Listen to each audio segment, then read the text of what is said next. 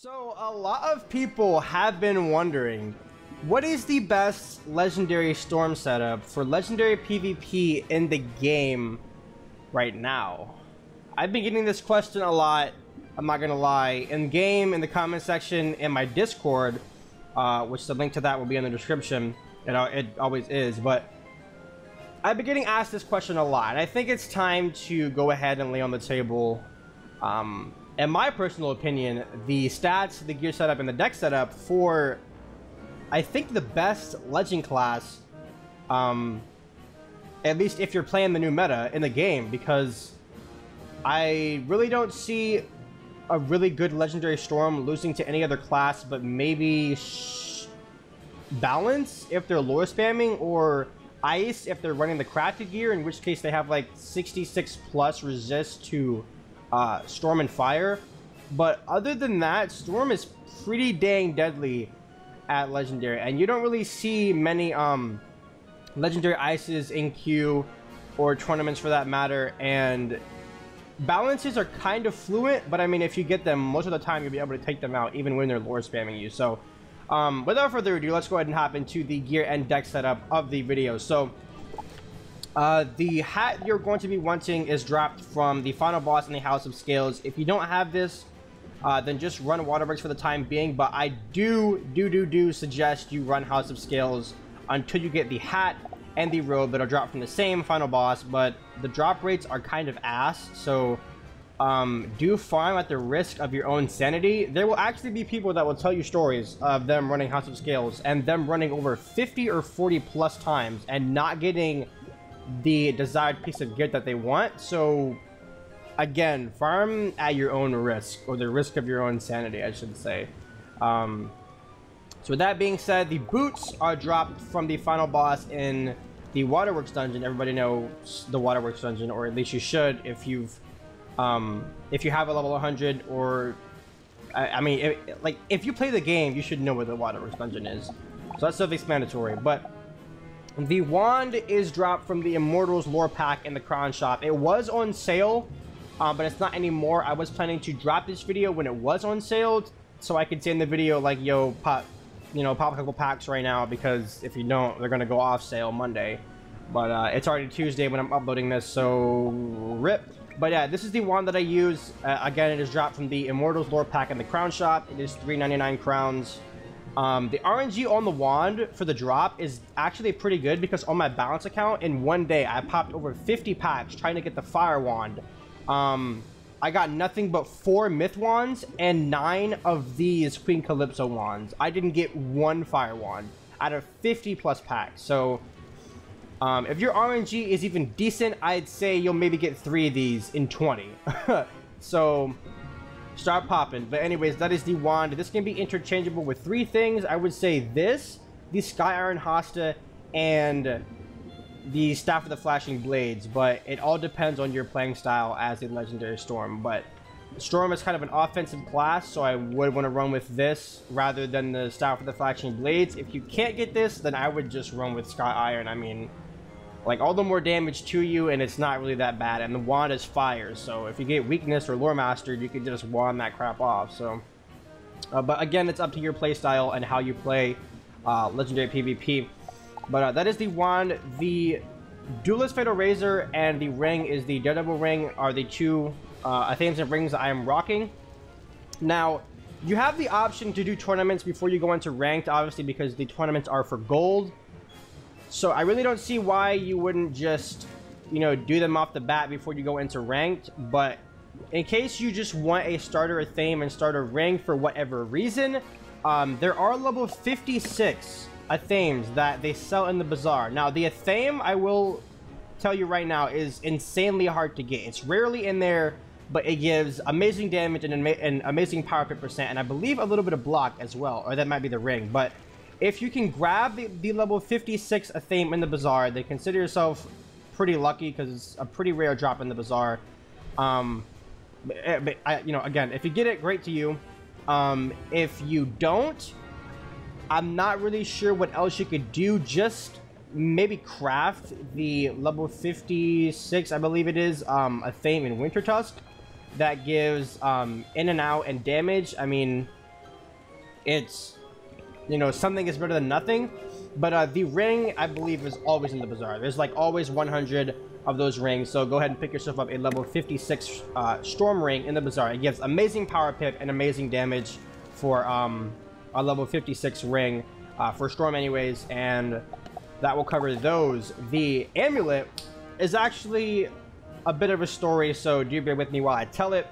So the Berserker's Rage Pendant is, I believe, the best amulet at Legendary since it is level 68 that you can get for any school that isn't running a Life Mastery or a Damage uh, amulet from uh, from Lower Zigzag because um, this amulet is is really good on health and it gives an enchant which Storm can abuse the crap out of because Storm has mass hits in their deck. So the more mass enchants you have, the more you can just discard, discard, discard, then pull an enchant, slap somebody for like 2k, then finish them off with a Storm Bats.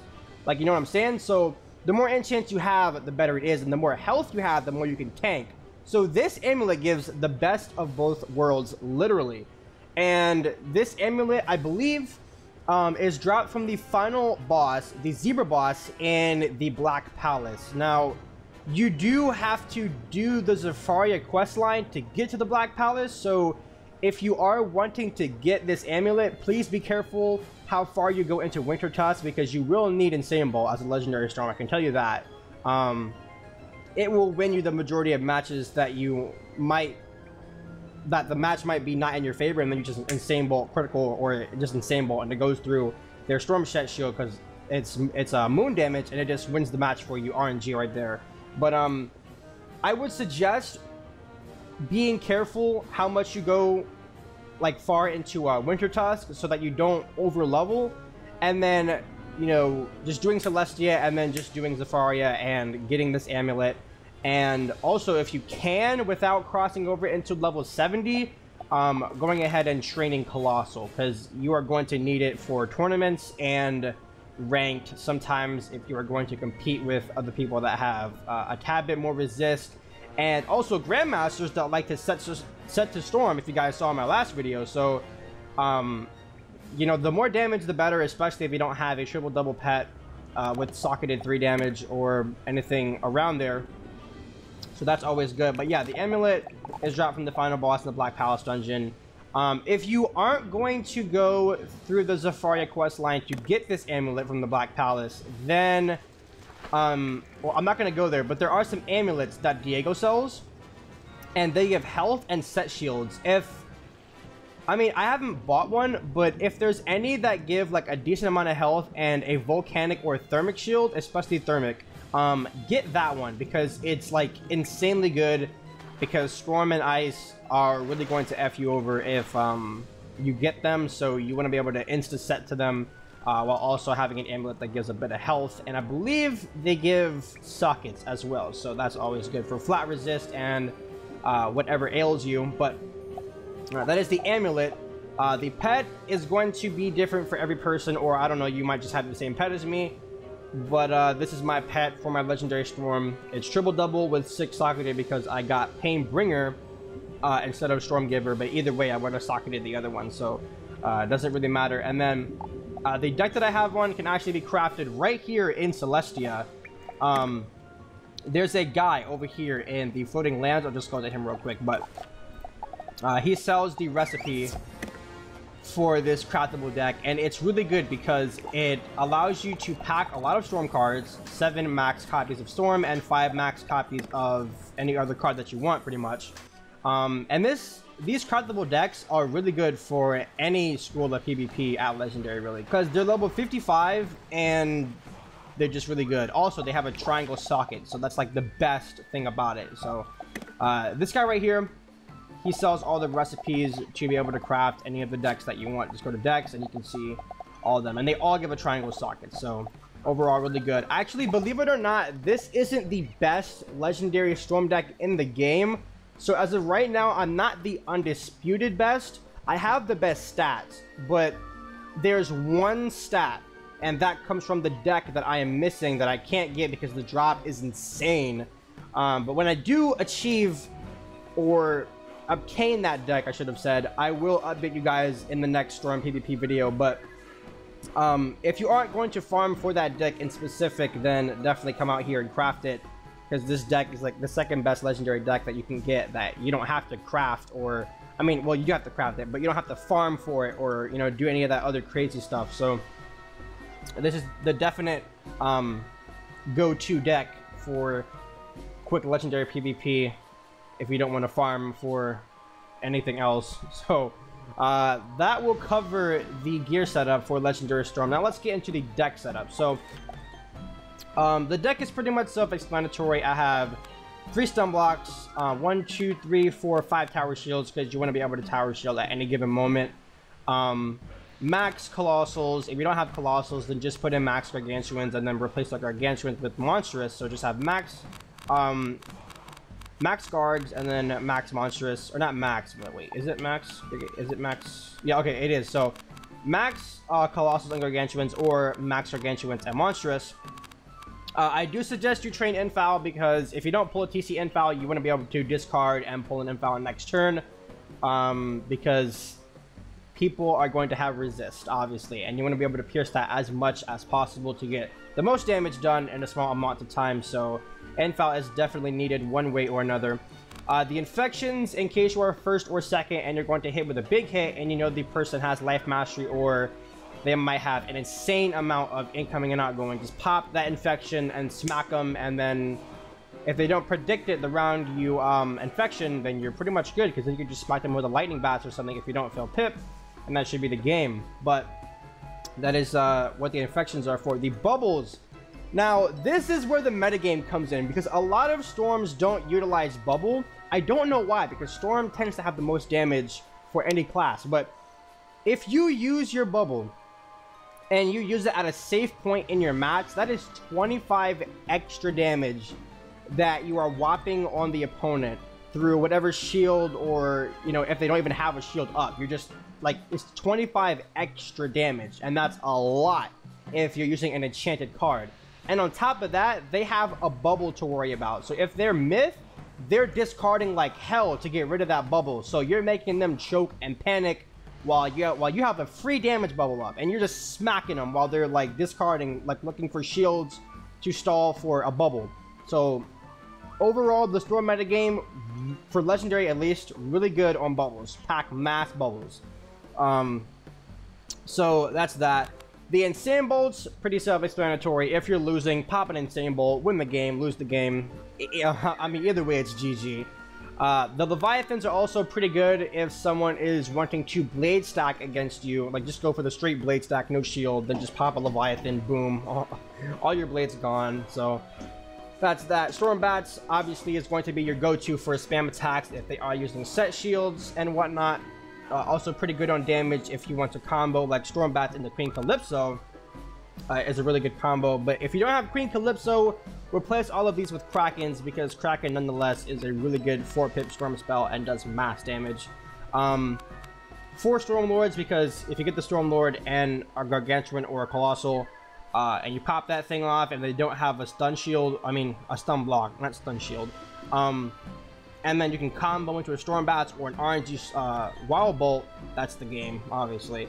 Um, these Storm Prisms, people were asking me why I had Storm Prisms in my deck. If someone set shields, right, and then they go for a Blade next turn, um, the round they go for a Blade, like, like say you're first, right?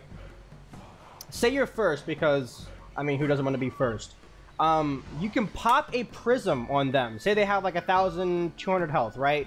They're like, oh, if I set shield, I'm good. He can't kill me. Pop a prism, pop a Triton, they're they're gone. They're eh, like lights out, dude. Like you're gone. Um, thought a set shield could save you, but it didn't.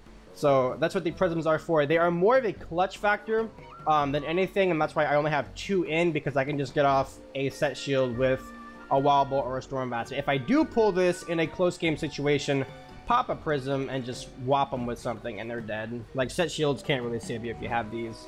Um, so again, clutch factor. Uh, now onto the mass thermic shields. As I said before in the video, fire and ice can really screw you over if you get these classes from second. So uh, put in mass of these because you can spam them and fire can't really do anything about it. They're forced to overtime you and um, I mean the more pips they waste and the more pips you don't waste by spamming Thermic Shield, because it's zero pips and it's minus 70 to ice and fire, um, you know, it's it's it's all the more power to you. So that's that. The Storm Snakes are for, again, clutch game situation if you do fail Pip and they have low enough health for this to kill. Um, it can also be great for getting off set shields if you don't pull a Prism or whatnot. So Storm Snake is overall a really good spell and you want to have this in main and TC. Uh, the Tritons are just for just straight damage and the Wild Bolts are for RNG and getting off uh, set shield. So that is the main deck. Uh, oh, actually, uh, this deck Okay, I'm pretty sure this is what it was last time. So, um, stuns are self-explanatory for needing to stall for a round and getting a combo off. Um, you want to have mass towers because, again, you want to be able to tower ASAP whenever. So, just like start discarding and pop a tower if you need to to uh, save yourself from a lore master or a weaver or whatnot, a brimstone even. Um, so that's that. The infalls, obviously, you want to have infall on before you hit, unless the person does not have that much resist, and you know that for a fact. Um, bubbles are for if you are discarding bubbles and they start to bubble war, then you can just pull from TC, pop a 35, and then smack them before they get a chance to change it. Uh, the Insane Bolts are again for clutch moments. Storm Bats, you want to have four in because they're really good for spamming and getting off set shields. Uh, the Queen Calypso you only want to have three, or if you don't have Queen Calypso, then just replace these with three Kraken. But uh, if you have Queen, then put only three in because um, you have like five in main. So you don't really need all that much inside. And since the, the highest enchant that you can get for TC is Gargantuan, your uh, Colossal Enchanted Krakens and uh, Queen Calypsos will be doing more than your TC.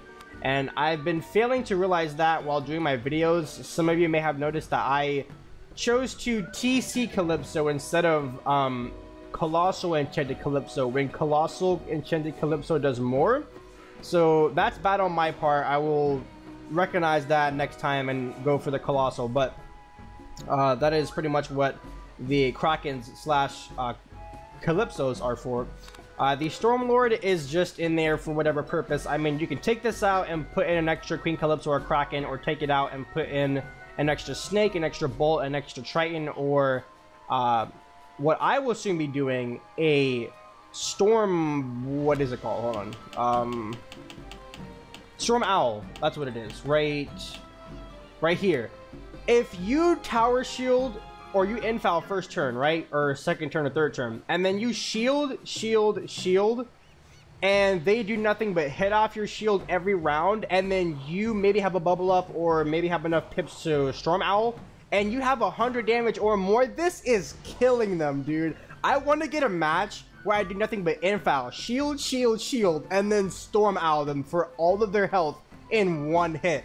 That would be the funniest match I think I would ever do. But um, yeah, basically replace the Stormlord for anything or just put in a Stormlord for whatever reason. Because if you can't pull a normal Stormlord and an enchant, then just pull from TC and you get it. And that's the GG if they don't have a Stun Block on. Uh, Storm Snakes, again, good for getting offset shields and um, killing if you have a bubble up and they have low health. Maybe you have an infall on as well. Who knows? Tritons, again, mass damage, and then bolts for getting off towers, set shields, and pure RNG killing.